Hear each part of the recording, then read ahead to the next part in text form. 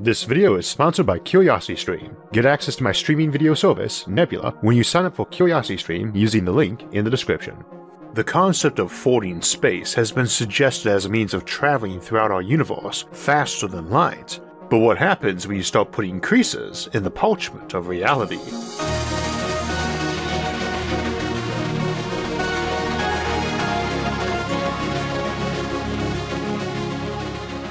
Welcome to another Sci Fi Sunday here on Science and Futurism with Isaac Arthur, where we let our hair down a bit on scientific realism, put our Vulcan ears on, and explore concepts in science fiction to see how likely they are, and how something similar might come about if not. So grab a drink and a snack and let's get to it. Today we'll be continuing our long-running Faster Than Light FTL travel and communication series by looking at the concept of folding space. This is a means of travel that's been proposed in fiction quite a lot, probably most famously in Frank Herbert's legendary Dune series, although few details are given there and not always consistently.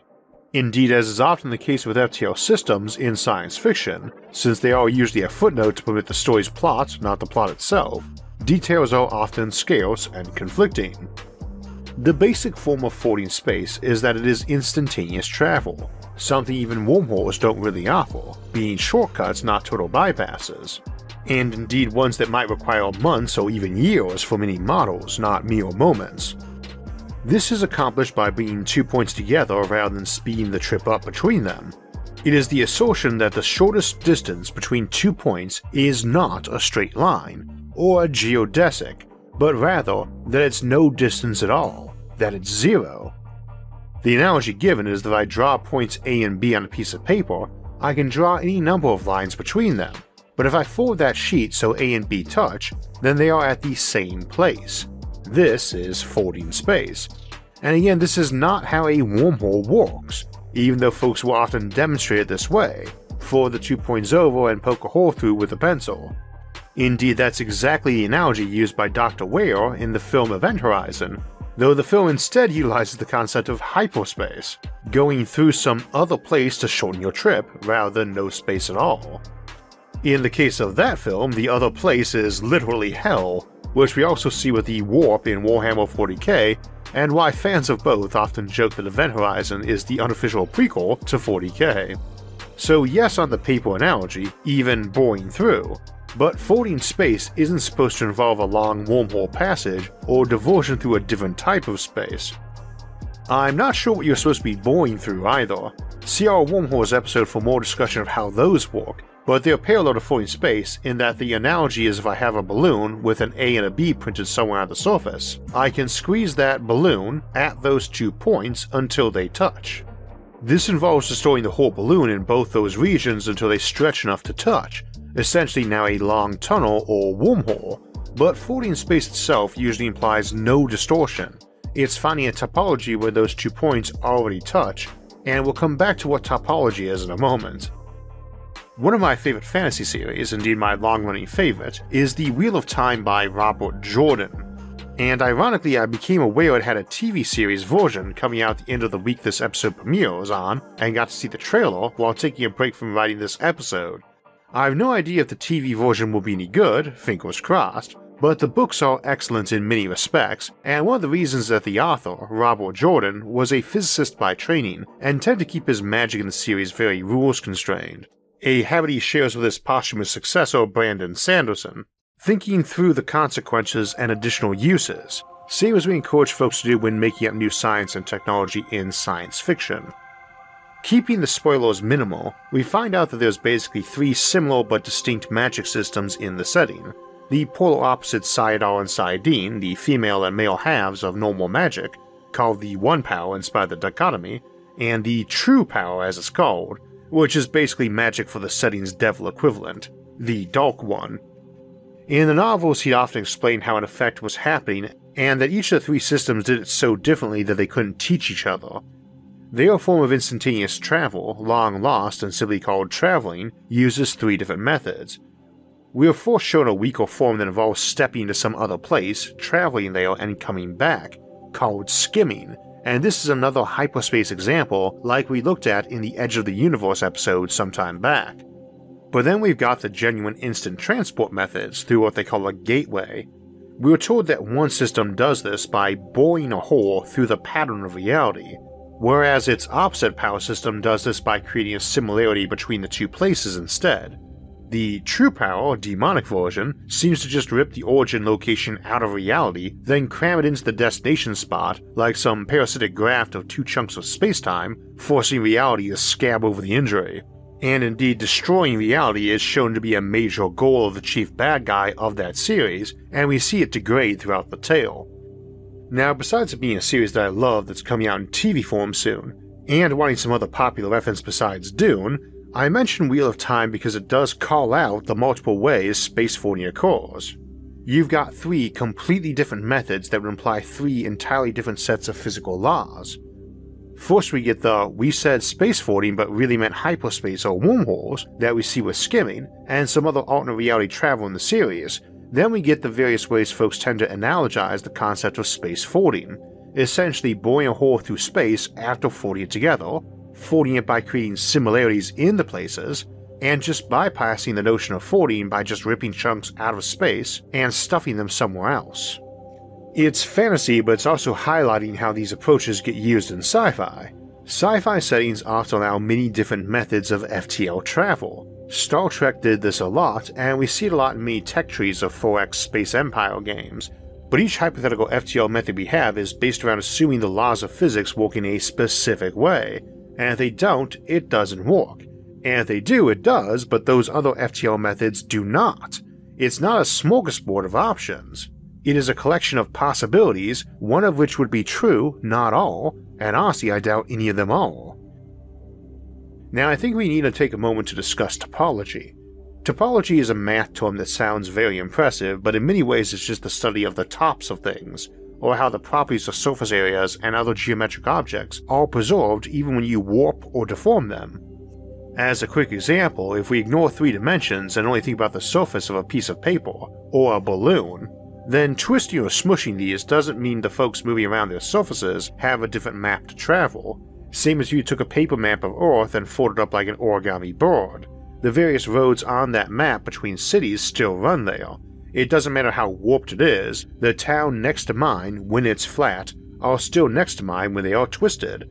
But it might be that if I could leave the 2D sheet of paper, like by traveling through some higher third dimension, I could reach another continent where it was folded near me, but not touching. And if it was touching, then bam, the closest distance between two points is zero. How I switch between them, these two points on a surface folded to touch each other, is rather tricky, I can poke a hole through, or I can meld the two together. Now in topology, you don't get to open holes, close holes, tail the surface, glue it together, or make it pass through itself. So generally, any discussion of folding space is already outside of the basic topological laws. This is not limited to two-dimensional surfaces either, those are just the easy examples. And it's another place where we get the notion of looking at reality as a three-dimensional surface of a four-dimensional object from, this is also where we get the concept of manifolds from, in the context of weird space-time thingies in sci-fi.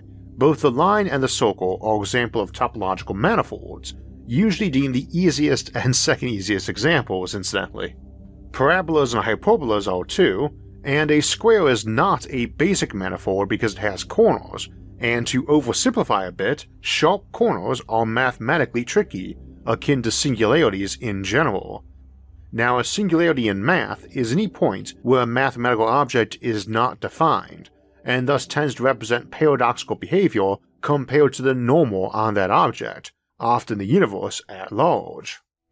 Take a string, ignoring its thickness, and you have a line or a one dimensional manifold. Drop it on the floor so it crawls into a heap, and now you got a bunch of singularities wherever one segment of the rope intersects another and as you might guess, this connection is poorly defined in one dimension, but it's just fine in two or three. We can imagine some insect walking along the rope.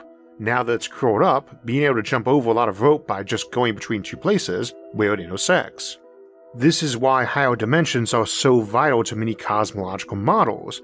Adding them helps get around apparent singularities or paradoxes in three dimensions. But when we try to bring this into the actual universe, it gets a bit tricky. You get those paradoxes. We've folded bits of paper together and that works fine in 3D space, but it doesn't in 2D space, and folding the universe doesn't work well in 3D. What's the spot look like? Is it a big rip in reality? Is it a similarity, and if so, do we have to make two places identical to move them together like that? Imagine for the moment the sheet of paper, only this time instead of an A or B, I put two colored dots, red and blue. If I dab them on and touch them together, are they going to naturally merge to be purple together? Is blue ink going to run on the white paper around it? Do I need to have folks at both sides adding more red or blue ink to each spot until they match in color? Do I need to make the red and blue dot exactly the same shade of purple? And if I did, would that form my gateway? And these are basically the logical loopholes going into space folding. But there's another too. It takes energy to fold a sheet of paper, real, actual energy, and if you do it with something like a sheet of metal, you will feel the metal warm up as you fold it, until it breaks from too much of it, and both that energy usage and possible breakage come up in discussion of space folding too. How much energy does it take to forward the entire universe? Presumably a lot. I mean, we can bend space and time, very literally, and it takes a lot of energy. We also know there's a lot of energy in a given chunk of space time, too. Under the upper limits of the cosmological constant, there's a nanojoule of energy in a cubic meter of free space as vacuum energy. That should seem fine, since cramming two cubic kilometers of empty space together to move a ship from one to another would require only one joule of energy from each to be merged, assuming it was a true vacuum. I'm not sure we could ignore the mass energy of all the dust and gas in that volume, or even of that ship, and some multi megaton spaceship is carrying hundreds of trillions of trillions of joules of energy, not one or two. But that's at the upper limit in the cosmological constant, and this is where we need to discuss vacuum energy, because a joule per cubic kilometer is the vacuum energy of space under the cosmological constant, or even less than that.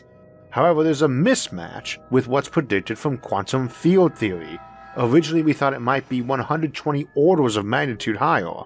A trillion, trillion, trillion, trillion, trillion, trillion, trillion, trillion, trillion, trillion times higher though Newell modeling suggests the degree of mismatch is only 60 orders of magnitude, a mere trillion, trillion, trillion, trillion, trillion times higher, which for perspective, if true, would mean the quantum energies in the vacuum contained all the mass energy of our entire sun squeezed into a spot about the size of a football stadium, which is much better than all of it squeezed into something the size of an atom that the previous mismatch had, but still seems absurdly dense and indeed still would be dense enough that such a sphere would instantly turn into a black hole. Of course, it isn't just this single spot, it is everywhere, so no collapse to a singularity, I suppose. But this prediction under quantum field theory, either the 120 or 60 magnitude version, is the reason why vacuum energy is considered so potentially awesome in sci fi.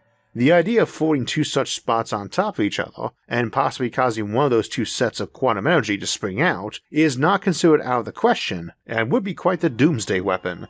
Possibly universally, too. This is akin to the notion of false vacuum collapse, which is considered one theoretical model for the universe being destroyed.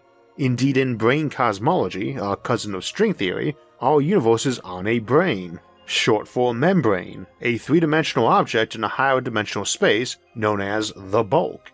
And gravity is weaker than the other forces because it can leak into the bulk, and in this topology rich theory, branes, with different universes on them, can touch and intersect and even collide. Think Big Bang. And that would specifically be the ekpyrotic model, though there's some others too. Needless to say, brane cosmology does permit the notion of warping a brane, or 40 in space. And if you want to delve into the math of how, this comes down to manifolds again, especially Calabi-Yau manifolds. I'm noted for my dislike for string theory, which I suspect tends to make me bad at explaining it, and probably understanding it too, so I'll attach a lecture from David Morrison on the matter. Nutshell form though, since we tend to assume this whole setup is the reason or origin for how gravity and dark energy behave, and since those both involve stretching or compacting spacetime, we deduce it may be possible to artificially forward space this way. The concern, of course, is that the point of connection, or boring through, whichever, might be rather explosive. I will also note that this permits travel to other manifolds and branes, i.e., universes, and time travel too. It also potentially makes for an unbelievable power source, and again, that's the basis for vacuum or zero point energy, different but parallel concepts. Now, the notion space time holds a single lone joule per cubic kilometer is much less interesting, barely enough to lift a cup of coffee, the true fuel that runs this show. But would still make for a lot of energy if we had to bend it, and doing so required using parallel amounts of energy.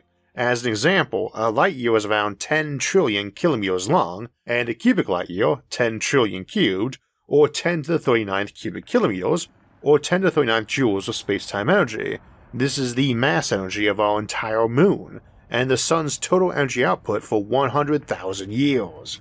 It's 10 million times the energy needed to rip Earth apart. And that's just one cubic light year. Our galaxy will contain trillions of times that, and the observable universe will be about 10 to 32 cubic light years, for something on order of 10 to 71 joules of energy. Non coincidentally, that's pretty parallel to the mass energy of the entire universe. Uh, keep in mind this is the cosmological constant values for vacuum energy. The quantum field theory ones, even the conservative 60 orders of magnitude higher version, do not require interstellar volumes to get universal levels of energy. This is part of why we can discuss setting off micro Big Bangs and bottled universes. It's hard to say how much energy it takes to forward space in this universe, so two distant points of it touch, but considering we have to move an entire sheet of paper to forward it, moving the entire universe to forward it seems plausible too. But not necessarily, nor does it necessarily need to be powered internally, any more than I need energy from a sheet of paper to bend it. Indeed, when folding the paper or squeezing the partially deflated ball, the energy is entirely external and is being resisted internally. We push, it shoves back. A sharp flat forward might be easier, in the same way it takes a lot of energy to cut a board with a saw, but one slicing through one only a molecule thick, rather than a few millimeters, might take way less energy. Well, the smallest distance in the universe, we believe, is a Planck length, and that's so tiny it is to an atom what an atom is to the planet, coming in about 10 to the negative 35 meters, such being the case, a square slice of space a light year wide on each side and one Planck length thick only contains about a thousandth of a cubic meter or one trillionth of a joule of space-time energy. So you imagine a sheet the size of the whole observable universe wide, or a circle 46.5 billion light years in radius, but just one Planck length thick, we'd only have about 7 billion trillion square light years or 7 billion billion cubic meters, or 7 billion joules of space-time energy and mind you, that is the upper limit under the cosmological constant modeling. It could be smaller. Now, that's not a tiny amount of energy, but it's like 50 gallons of gas. So, if you had to supply that every second, requiring a very large modern nuclear reactor or hydroelectric dam, it is doable, especially in sci fi terms. Now, this is utter wild speculation. We're not really doing science here, we're throwing concepts at the wall and plugging related numbers into them. Great for writing a realistic feeling sci fi, but not science, and hence why it's a sci fi Sunday episode. And even if we could do that Planck length wide sheet, it might be that sustaining it took that much energy per Planck time, which is even smaller to a second than a Planck length is to a meter, in which case you might need to burn through whole stars to form the universe for a single heartbeat. Does this violate known science? Well, unlike a lot of our FTL systems, no it does not. It merely posits our universe exists in something higher dimensional, which we have no real evidence for or against, and that it has topology that can be manipulated, with the usual assumption being through gravitons or whatever dark energy is. Indeed, I once heard someone describe dark energy as the thing leaking out from the crack in the space-time manifold as it bent and expanded, though I suspect that analogy is more amusing than accurate. So, is floating space possible? Well, if those assumptions are true, that the universe does exist inside something higher dimensional, it can be bent around, then yes. Though some would argue that higher dimensionality is not necessarily required. How you do it, no clue. But possibly through application of something like a gravity laser or non omnidirectional gravity beam, or maybe a Kerr ring. Not by shooting beams of light out your mouth like Dune navigators seem to do in the 1984 David Lynch film, but as I recall, that's symbolically representing them picking possible paths or fords that would move the ship safely. Which, to close out, brings us back to the issue of what we mean by folding space, because in that series, or others with the instant jump, we were often told of concerns like accidentally passing through a star. This is exceedingly unlikely normally since space is so empty and few straight lines pass through a single star even over a whole galaxy, but the usual notion is that gravity is warping space so things taking advantage of that tend to get yanked more towards such big objects. Which is fine for a story, but you're not folding space between two points if you can run into other things on that manifold or sheet, again the universe, while traveling from point A to point B, because you're not traveling through the universe or through some other universe. Alright, let's wrap this into a closed time-like loop to the beginning to finish for the day. If you can warp space, and we can, you can shorten the distance between two points. This is not folding space, it's compacting the sheet, opposite of stretching it, not folding two bits together. This is how warp drive works. But folding space is bending and probably requires tearing or poking, and that would seem to inherently imply higher dimensions, as it's not allowed under topology without those getting around it. Which, to close on, raises the point that if you can make any two points in our universe touch by folding them through some higher reality, also presumably means you can find other universes to explore or settle. So, folding space seems like a potentially good way to colonize our universe, but it is probably more valuable ultimately, if you can do it, for letting you forward space to other universes, just keep in mind, in many models of branes in higher dimensions, folding bits of them together tends to have explosive effects. The kind that makes supernovae look like firecrackers. The kind of very big bangs that start universes, and perhaps in them too.